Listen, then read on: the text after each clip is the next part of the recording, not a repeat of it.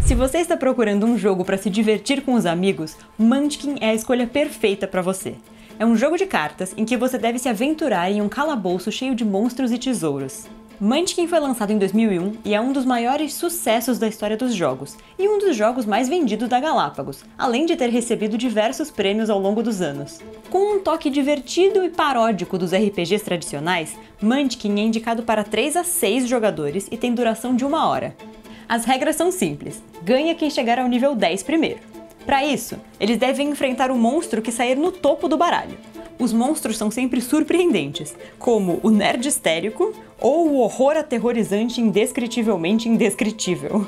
Os outros participantes podem ajudar a derrotar o monstro, tornando-o mais fraco, ou até mesmo trapacear e ajudar o monstro. A habilidade de negociar, subornar e fazer alianças é essencial no Munchkin.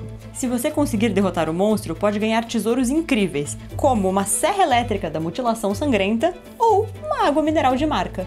Além do jogo base, há várias expansões temáticas com novos personagens, monstros e itens mágicos.